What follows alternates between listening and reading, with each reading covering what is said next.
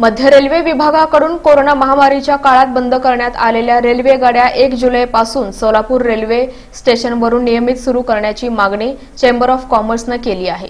Corona महामारीच्या प्रादुर्भावामुळं Solapur railway स्थानकावरून सुटणाऱ्या रेल्वे गाड्या तीस जूनपर्यंत बंद ठेवण्यात आल्या आहेत. आता सध्या कोरोनाचा प्रादुर्भाव कमी झाल्यानं अनलॉक प्रक्रियेअंतर्गत शहर हळूहळू नियमितपणे सुरू करण्यात येत आहे.